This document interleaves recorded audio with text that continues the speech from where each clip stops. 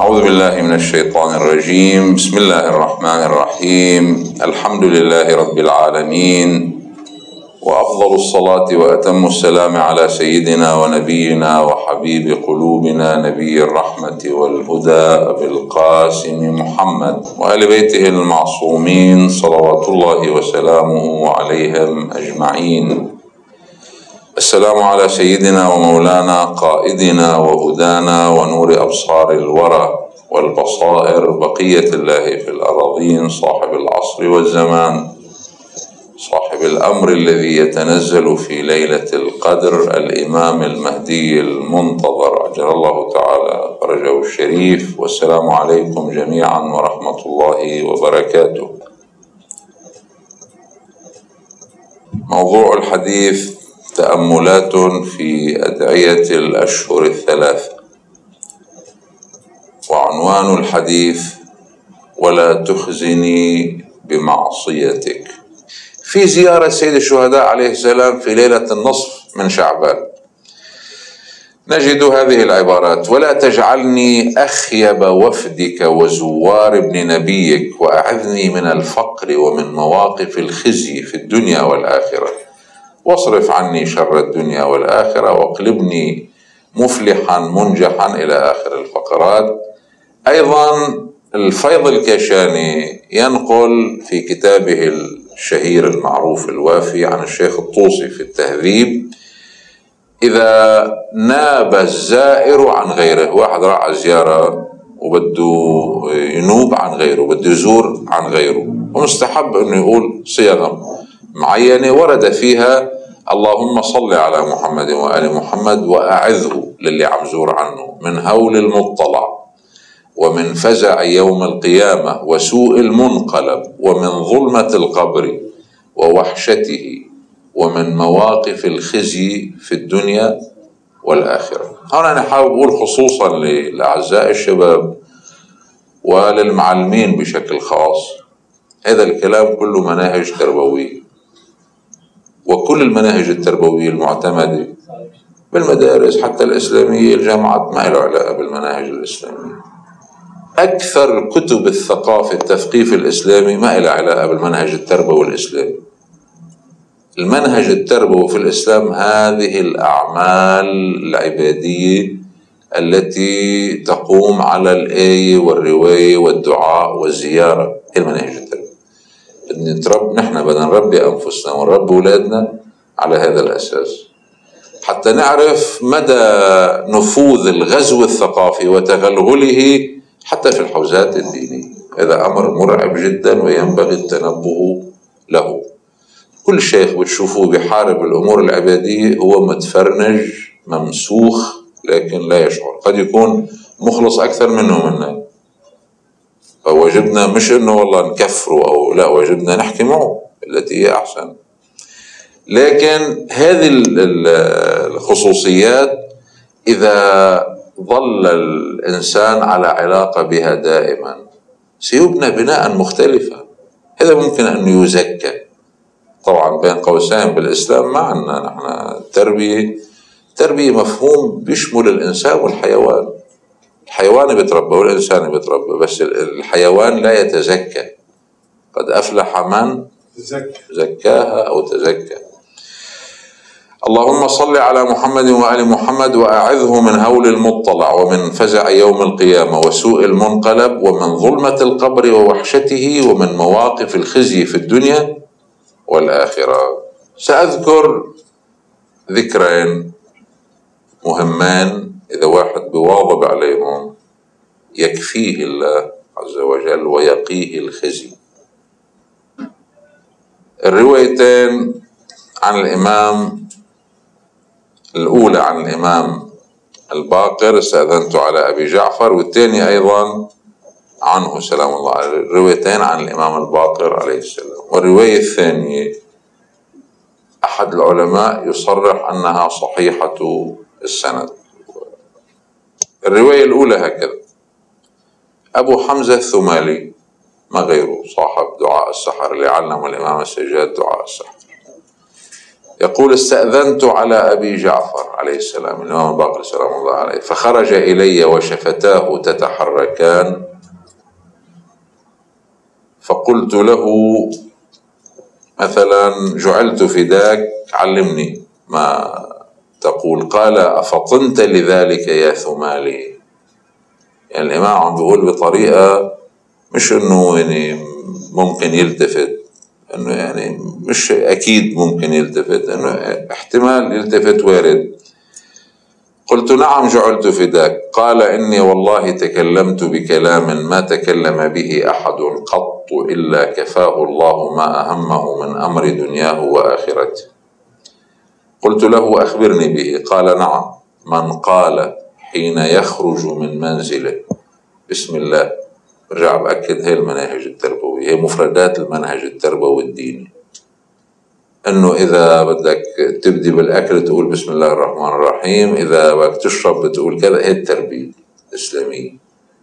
كل الأمور اللي ما لها علاقة بالآية والرواية ما لها علاقة بالتربية اطلاقا. بسم الله حسبي الله توكلت على الله. اللهم إني أسألك خير أموري كلها وأعوذ بك من خزي الدنيا وعذاب الآخرة. كفاه الله ما أهمه من أمر دنياه وآخرته. هذا الذكر كل ما خرج من البيت يقول هذا الذكر شو هو؟ بسم الله حسبي الله توكلت على الله. اللهم إني أسألك خير أموري كلها وأعوذ بك من خزي الدنيا وعذاب الآخرة. النتيجة شو؟ كفاه الله ما أهمه من أمر دنياه وآخرته. الذكر الثاني. أيضا كما تقدم عن أبي جعفر عليه السلام قال قل اللهم إني أسألك من كل خير أحاط به علمك وأعوذ بك من كل سوء أحاط به علمك. اللهم إني أسألك عافيتك في أموري كلها وأعوذ بك من خزي الدنيا وعذاب الآخرة. الرواية صحيحة الإسناد بناء على رأي أحد العلماء ما, ما اتسع المجال لمراجعة السند النتيجة أن مفهوم الفضيحة على رؤوس الأشهاد ينبغي أن يكون واضحا والإنسان الذي يعزز هذا المفهوم يمكن أن يكون حسن الأخلاق. بصير يتصرف مع زوجته بأخلاق مع أولاده الصغار بأخلاق مع الجيران بأخلاق. ليش؟ لأنه يوقن بقوله تعالى ووجدوا ما عملوا حاضرا ولا يظلم ربك أحد. يوقن بقوله تعالى إنها إن تكن مثقال حبة من خردل فتكن في صخرة أو في السماوات أو في الأرض يأتي بها الله عز وجل. وبيقضي عمره عم بيعزز هالمفهوم بذهنه. هذا بيهذب له أخلاقه بزكي له نفسه. إذا ابتعد عن هذا وصار عم يطلع على المواد الثقافية الغربية والأمور المادية وتاريخ وجغرافيا ومدري شو حتى منطق وأصول كل الأمور ما فيها دين ما فيها تزكية. تكون النتيجة أنه يبتعد عن المنهج الغيبي. أصلا الإيمان بالغيب يضعف فيه. ويصبح من أبناء الدنيا تدريجيا. حتى إذا كان عامل حاله شيخ وعم يدرس بالأخلاق. إذا ابتعد عن هذه الأمور بالتدريج يضعف فيه الإيمان بالغيب. هذا المرض الأكثر انتشارا الآن في العالم مرض ضعف الإيمان بالغيب.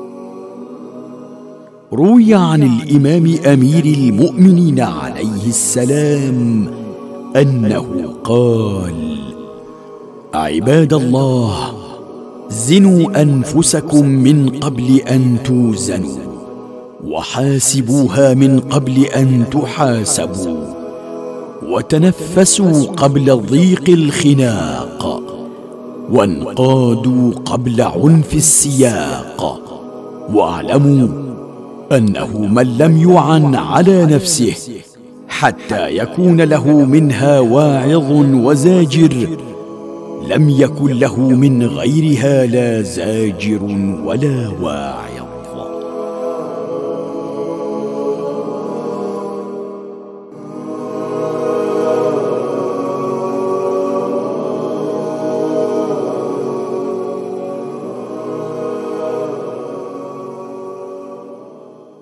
أختم ببعض الفقرات للعارف الكبير الفقيه النوعي المجهول القدر في جانب العرفان والتزكية الشهيد الثاني رضوان الله تعالى عليه. هذا العالم الجليل من طلوصة من قرية طلوصة وكان ساكن بجباع ودرس بالمدرسة النورية ببعلبك اللي هي مقابل قلعة بعلبك في بقاياها. درس الفقه على المذاهب الأربعة. وراح على مصر وإلى آخره واستشهد أخيرا في تركيا رضوان الله تعالى عليه. من الكتب المهمة جدا لازم يقراها كل مؤمن يدرسها مش بس يقراها. كتاب أسرار الصلاة أو ما يتحدث فيه عن محاسبة النفس أو منية آداب منية المريد في آداب المفيد والمستفيد. آداب طلب العلم. إلى غير ذلك من الكتب العظيمة طبعا غير الأبحاث الفقهية المعمقة جدا شرح اللمعة وغيرها يتحدث عن محاسبة النفس. يقول قال صلى الله عليه وآله ينبغي للعاقل أن يكون له أربع ساعات ساعة يحاسب فيها نفسه. إلى آخر الحديث. هو عم يحكي عن المحاسبة يقول ولما كانت محاسبة الشريك شريكه عبارة عن النظر في رأس المال إذا واحد بده يحاسب شريكه شو بيسوي؟ بدقق برأس المال أو في الربح أو الخسران ليتبين له الزيادة من النقصان فإذا واحد بده يحاسب نفسه على شو بده يحاسبها؟ شو رأس المال؟ فكذلك رأس مال العبد في دينه الفرائض صلوات الواجبة الأحكام الشرعية الأمور الواجبة المفروضة الفرائض. فكذلك رأس مال العبد في دينه الفرائض وربحه النوافل والفضائل وخسرانه المعاصي. اللي بده يحاسب نفسه بده يحاسبها على رأس المال. شو موقفك من الفرائض؟ بده يحاسبها على الربح النوافل والفضائل. الفضائل يعني مثلا إنه والله صادق إنه أمين. يفي بالوعد إنه عنده صبر مش انه والله حرورة وإيده الضرب والى آخره أو الصرخة. هذا مش فضيلة طيب ماشي أول سنة. بعد الشباب مثلا صار عمره 25 سنة. لا إمتى لا إمتى لا إمتى يظل هيك. الفضيلة وين؟ اللهم عنا على أنفسنا بس على الأقل خلينا نطلب خلينا نستجدي منه سبحانه وتعالى. الشيخ حسين قل الهمدان اللي سمع سيد القائد يمدحه كثيرا يقول عليك بالاستجداء استجداء أطلب منه عز أنا لا أستحق. أطلب ما ليس لي لكن أنت أكرم الأكرمين. والخسران المعاصي. يقول وموسم هذه التجارة جملة النهار. مش إنه بعض المرات قبل ما تنام يعني مشغول كل النهار بالدنيا مش قبل ما تنام بضل عندك مجال في بعد رمى. موسم المحاسبة كل النهار عطول يعني. وحتى بالليل ما دام فايق الإنسان ومعامله مع مين عم يتعامل؟ نفس الأمارة بالسوء إذا واحد عم بيحاسب شخص وبيعرفه شرس بيعرفه بتعب فبشد انتباهه منيح وبدقق منيح إذا ما معه حاسبة بجيب حاسبة. إذا ما معه فواتير بده يصير حكي حولها بروح يجيبها بروح يدقق بالسوق قديش حق الفواتير حتى يعرف كيف بده يحاسب. فالنفس الأمارة بالسوق كيف بدنا ننتبه بمحاسبتها لاحظوا هون إنه هي المحاسبة هذا منهج تربوي إسلامي مش موجود بالدنيا كلها. مش موجود. وأساس الحساب اللي هو الرادع الداخلي العرض على الله عز وجل الحساب في يوم القيامة. هذا مش موجود عند الماديين ولا موجود عند المتدينين اللي ما منتبهين لإيمان بالغيب بقوة. فليحاسبها على الفرائض أولا بيحاسب واحد نفسه على الفرائض أولا. شو الهدف من الحساب؟ أن لا يكون من أهل الخزي في يوم القيامة. فإن أدتها على وجهها شكر الله تعالى على ذلك ورغبها في مثلها. وإن قوت وإن فوتتها طالبها بالقضاء. راحت عليه صلاة الصبح ما أخرها. إذا بيقدر واحد بيقدر بس في يصليها مباشرة ما بيقدر بنفس اليوم ما يخليها تروح. لأنه بصير تتراكم عم يفتح طريق لكثرة الصلاة المقضية وبعدين بصير عبء عليه. بعدين كثير من الأمور ممكن يعطاها لكن مع وقف التنفيذ لأنه عليه صلاة. مثل واحد إلك عليه دينة وعم يطلب منك أنك تعطيه بتعطيه بس مش كثير لأنه خليه يسد الماضي. فإن أدتها على وجهها كذا وإن فوتتها طالبها بالقضاء وإن أدتها ناقصة كلفها الجبران بالنوافل. إذا أدت الصلاة بسرعة بدون تعقيبات ومدري شو يلزمها بالنوافل. مش عم بيصلي نوافل. طيب يبدي هلأ بركعة الوتيرة ركعتي الوتيرة بعد صلاة العشاء من جلوس. يبدي فيها. هي البذرة الله بينمي له إياها. بعدين بصير يصلي مثلا نفلة المغرب. ممكن بعد شهرين ثلاثة بعدين والله الغفيلة مع نافلة المغرب. بعدين بس بالتدريج خليه يبدي. يبدي له شيء. وإن ارتكبت معصية النفس الأمارة عاقبها وعذبها؟ ليستوفي عذبها يعني بيأدبها بعاقبها. إنه مثلا اليوم أنا بدي صوم لأنه أنا أمس تعرضت لحفلة غيب وإلى ثاني يوم بدي صوم. ليستوفي منها ما يتدارك به كما يصنع التاجر بشريكه وكما أنه يفتش في حساب الدنيا عن الدرهم والقيراط. مين اللي عم يحكي؟ الشهيد الثاني رضوان الله عليه.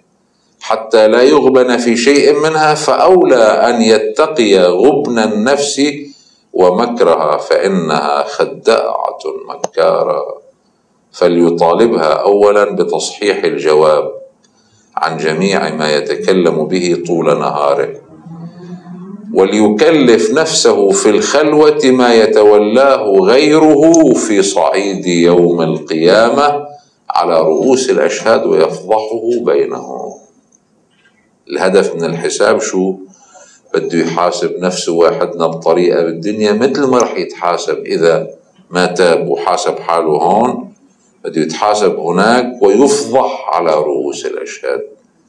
بيحكي مع نفسه هون مثل ما الملك راح يحكي معه يوم القيامة. يا خائن يا غادر الملك كيف بيحكي؟ في عنده نص الشهيد الثاني نص آخر بكتاب أسرار الصلاة. هذا اللي بيعتبروا أنه خلاصة الدرس خلاصة هذا الحديث. يقول في أسرار الصلاة عم يحكي عن حضور القلب في الصلاة. بجيب نموذج أنه المرائي اللي بيستعمل الرياء ماذا يقال له في أرض القيامة أنه لما بيتعرض للفضيحة الكبرى وللخزي شو بينقال له هذا اللي كان يرائي في الصلاة؟ يقول إن كان المنافي للصلاة من قبيل المفسدات يعني الرياء الرياء يفسد الصلاة يبطل الصلاة. فالعلاج النافع فيما ينافي الإخلاص هو التفكر في ضرر الرياء وما يفوت بسببه من صلاح القلب إلى أن يقول أنه يفكر اللي عنده رياء بصلاته يفكر لما سيتعرض له في الآخرة. شو بيقولوا له بالآخرة؟ ما يتعرض له من العقاب العظيم والمقت الشديد والخزي الظاهر حيث ينادى على رؤوس الأشهاد والعباد مين هذا المرائي في الصلاة؟ يصلي على يد الناس. مش قربة إلى الله. ينادى. أو المرائي. مرائي بشكل عام بيعمل هالعمل رياء. الشغلة هلا إنه مثلا والله عم يتصدق رياء تيقولوا عنه إنه بيتصدق. أو والعياذ بالله طبعا هذا كان منه حتى بزمن النبي صلى الله عليه وسلم إنه هذا اللي استشهد ليقال عنه أنه شهيد. مرائي إذا المرائي شو بنقال له يوم القيامة؟ وما يتعرض له من العقاب العظيم والمقت الشديد والخزي الظاهر حيث ينادى على رؤوس ينادى به على رؤوس الأشهاد والعباد. يا فاجر يا غادر يا مرائي من الموجودين؟ كل الخلائق من الأولين والآخرين. الأنبياء سيد النبيين الأولياء أنه عض عمره عم بيقول يا زهراء يا علي بن أبي طالب يا أمير المؤمنين وأنه هو على أساس أنه شيعي ومؤمن وبحب الرسول صلى الله عليه وسلم لكن مرائي فنزع كل الشغل.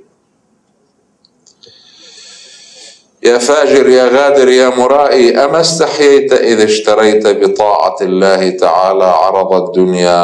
راقبت قلوب العباد واستهزأت بطاعة الله تعالى وتحببت إلى العباد بالتبغض إلى الله. وتزينت لهم بالشين عند الله تعالى وتقربت إليهم بالبعد من الله تعالى وتحمدت إليهم بالتذمم يعني بالمذم عند الله وطلبت رضاهم بالتعرض لسخط الله تعالى. هل كان عندك أما كان أهون عليك من الله؟ أنه ما لقيت حدا تستهين فيه هالقد إلا الله عز وجل يعني جعلته أهون الناظرين إليك كما في دعاء السحر إلهي لا لأنك أهون الناظرين إلي وأخف المطلعين علي. السيد المرائي جعل الله أخف وأهون المطلعين عليه لأنه إذا إجا واحد مثلا شخص هيك بيقوم بده يتصرف بأخلاق هو عم بعيط عمرته وأولاده إجا واحد لا يا بابا أنا مش قصدي هيك وما أدري شو. هذا رياء. هذا رياء هذا جهنم. هذا خروج من الدين. إذا أقام عليه الإنسان يعني مش موحد مشرك. هذا من الذين قال فيهم تعالى وما يؤمن أكثرهم بالله إلا وهم مشركون.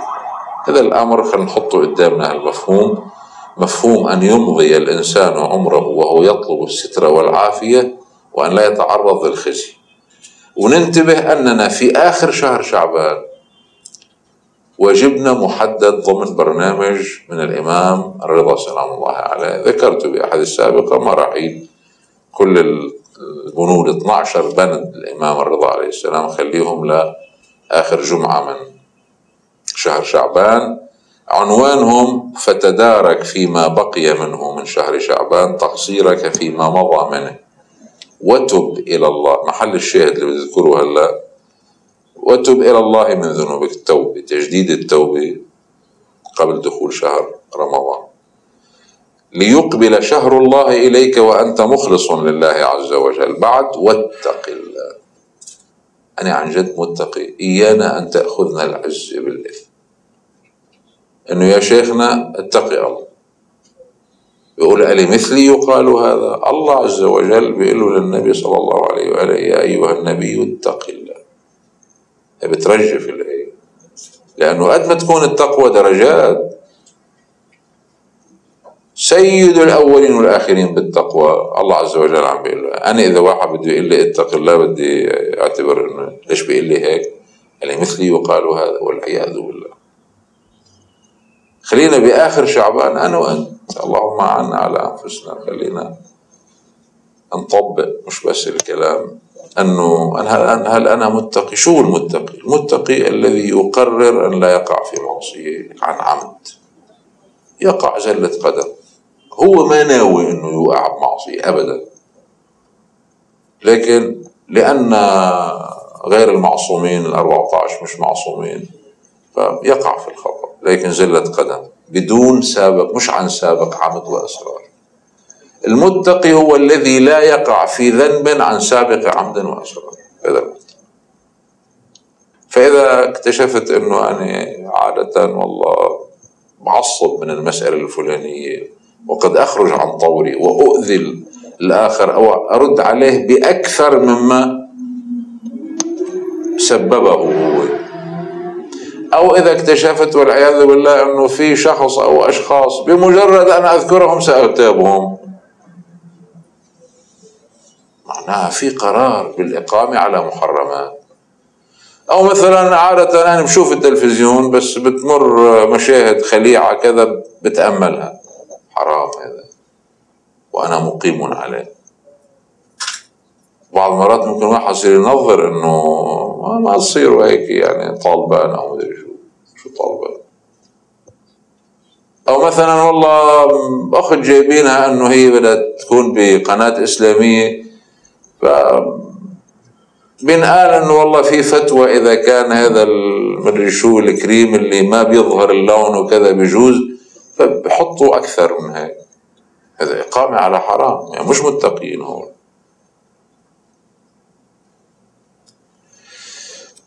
أو مثلا والله الشيخ بيذكر الرواية وقال رسول الله وهو مش متأكد منها وبينتبه إنه يعني إنه الكذب قد يكون كذب هذا. والرؤية عن رسول الله صح. بس إذا التفت ممكن واحد يقول مش ملتفت معلش لكن إذا التفت وظل يصر هيك آه بكون عم يكذب يفتري على الله ورسوله. بعد بعد واتق الله وتوكل عليه في سر أمرك وعلانيتك ومن يتوكل على الله فهو حسبه. وأكثر من أن تقول فيما بقي من هذا الشهر هذا خلي يكون الورد اللي نركز عليه. اللهم إن لم تكن قد غفرت لنا فيما مضى من شعبان فاغفر لنا فيما بقي منه فإن الله تبارك وتعالى يعتق في هذا الشهر رقابا من النار لحرمة شهر رمضان. اللهم من علينا بما أنت أهله بالزهراء وأبيها وبعلها وبنيها والسر المستودع فيها برحمتك وهم رحمتك يا أرحم الراحمين.